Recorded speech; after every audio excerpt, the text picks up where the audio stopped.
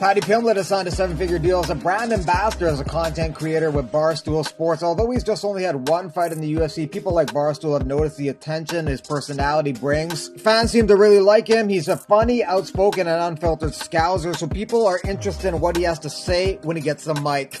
And it helps that he can fight too. He has a 17 3 record, and while he struggled early in his UFC debut versus Luigi Vendramini, he showed immense toughness in overcoming that obstacle and showed tremendous killer instinct in his flurry of fists, which earned him a KO with 35 seconds left in round one. Paddy signed a contract for his next UFC fight. The date and opponent have not been announced yet. However, don't expect the UFC to throw him to the wolves yet. They're probably going to give him fights where he's a favorite in because they realize he's someone they'd likely want to protect because he's a high value asset to them. Thanks for watching MMA Digest. Like and subscribe to keep up with MMA.